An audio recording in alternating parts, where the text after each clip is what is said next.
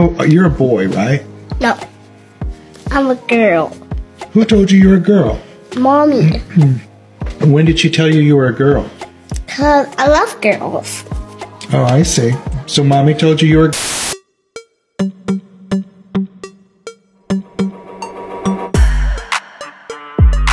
Hello and welcome to Weird Health News with the E-Z-E-N-W-A-N-Y-I dot com. Yes, the Queen Boo. Hello, and welcome to our channel. Today, we're tackling a serious and complex topic, Munchausen syndrome by proxy, or MSBP. This is a disorder where a caregiver fabricates or induces illness in someone under their care, often to gain attention or sympathy. We'll explore the history, symptoms, psychology, and impact of this disorder, as well as how it can be detected and treated. Let's dive in. Historical background. Munchausen syndrome by proxy was first described in the medical literature in 1977 by Dr. Roy Meadow, a British pediatrician. The name is derived from Munchausen syndrome, where individuals feign illness in themselves. In MSBP, the caregiver, usually a parent, fabricates or induces illness in a child or dependent. Early case studies documented caregivers who would go to great lengths to convince medical professionals that their children were sick. This included tampering with medical samples, administering harmful substances, and exaggerating symptoms. The caregivers often appeared very devoted, gaining sympathy and admiration from those around them. Symptoms and characteristics. Let's look at the symptoms and characteristics of MSBP. This disorder is complex and can manifest in various ways. Common signs include frequent hospital visits, inconsistent medical histories, symptoms that only appear in the presence of the caregiver, and the child's condition improving when separated from the caregiver. Caregivers with MSBP often have a deep knowledge of medical terms and procedures. They may exaggerate, fabricate, or even induce symptoms in their child. This can involve poisoning, withholding food, or inflicting injuries. The primary motive is to gain attention, sympathy, and validation from medical professionals and others. Psychological aspects and motives. Munchausen syndrome by proxy is driven by complex psychological factors. Caregivers with this disorder often have a history of abuse, neglect, or trauma. They may struggle with low self-esteem, feelings of inadequacy, or a need for control. By inducing illness in their child, they fulfill a psychological need for attention and validation. Understanding the psychological underpinnings is crucial. These caregivers are not simply seeking attention, they are driven by deep-seated emotional issues.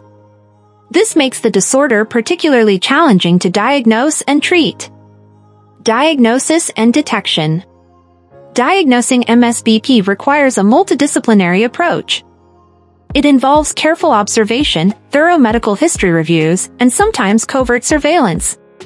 Medical professionals must look for patterns of unexplained illnesses, discrepancies in medical records, and improvement of the child's health when separated from the caregiver. Key warning signs include frequent hospitalizations, a lack of clear diagnosis despite numerous tests, symptoms that don't match typical disease patterns, and overly attentive caregivers who seem more invested in the illness than in the child's overall well-being. Legal and ethical considerations. Munchausen syndrome by proxy cases pose significant legal and ethical challenges. Removing a child from their caregiver requires clear evidence of abuse, and these cases often involve extensive investigations. Legal authorities must balance the need to protect the child with the rights of the caregiver. Ethical considerations also come into play. Medical professionals must navigate patient confidentiality while ensuring the child's safety. Reporting suspected cases of MSBP is a critical, yet delicate process. Treatment and support. Treating MSBP involves addressing both the caregiver and the victim the caregiver needs intensive psychological therapy to address underlying issues. The child requires support to recover from the physical and emotional trauma. Family therapy can also be beneficial if reunification is an option. Treatment options may include individual therapy, family therapy, and sometimes medication for underlying mental health conditions. Support groups and community resources play a vital role in recovery and prevention. Prevention and awareness. raising awareness about MSBP is crucial. Educating medical professionals, teachers, and the community can help identify and prevent cases. Training programs and workshops can equip people with the knowledge to recognize the signs and take appropriate action. Prevention efforts also involve supporting at-risk families. Providing resources for mental health support, parenting education, and stress management can reduce the risk of MSBP developing in the first place. Oh, you're a boy, right? No. I'm a girl. Who told you you were a girl? Mommy. When did she tell you you were a girl? Cause I love girls. Oh, I see. So mommy told you you were a girl? Uh-huh. Um, any, does mommy um, do anything else like with a girl with you? Mm-hmm. Like what? Like dresses. What what does she do? She do put them on me. She puts dresses on you? Oh wow. And what else does she do? She buys my headbands Uh-huh. and and and she get me hair clips, Oh, hair clips? Okay. What else? some microphones, What else? like a skeleton. Does she do anything with your fingers? Yeah. What? She paints my nails. So that why does she do that? Cause I love like nail polish. Oh. So mommy puts you in a dress and puts nail polish on you? And and what does mommy tell you? She tells me I'm a girl. Oh, okay. Do you think you're a girl? Uh huh. You do? Is that why you wear this so that you can have long hair? Mm-hmm. Okay. One of my earliest memories was actually a nice one. I was sitting on my mom's lap. My dad was driving the car. She was brushing my hair very lovingly. And I was rummaging through her purse. And she asked me, Are you looking for the suckers? And she pulled out the pack of suckers. And I took one out like I always had. And I sucked on the sucker and I crunched it up and swallowed it. And I wouldn't realize it until much later that the suckers were actually a book of matches that my mom had been giving me as candy. My mom and I were really enmeshed. I really didn't have a lot of independence from her. From a really early age, she would take me to doctors and she would say there was something wrong with me. She would just sort of get one medication from one doctor and then another medication from a different one. She was reading books on what medications not to combine to get those medications for me. And in essence, by making me take them, she was making me sick early on. Later, it kind of made sense. Very shortly before we had this doctor's appointment, my mom had come in that evening and she had a gun. She sat on the edge of my bed and she put the gun in her mouth. She started sobbing about how she was shocked sexually when she was a little girl. As an adult, you can see that she was just replaying out on me what had happened to her. And then shortly to follow that, she's taking me to the doctor, pursuing what she thought would be unnecessary open heart surgery. Age 14, she got me checked into a hospital. No one had really told me what I was there for. A nurse walks in. She says she has to shave me. I need to shave your private areas. I just sprung to the back of that bed. I pulled the covers up and I just blurted out, My mom is making this up. I'm not sick. And she drugged me and um, she shaved me. When I was in the surgery room, I was awake the whole time, and the doctor came in. He had a scalpel and they cut my arm, and it just sort of filleted itself like a chicken breast. And they took an electrical wire and they ran it into the vein or the artery, and they sneaked it up into my heart. I just did everything I could to clamber off that table. I jerked my legs up, jerked my arms up, ripped out the thing. They drugged me. That was it. Coming home, I was just, I was probably inconsolable. And I think that at that point, I looked at my mom and probably for the first time just felt a little flash of hatred for her.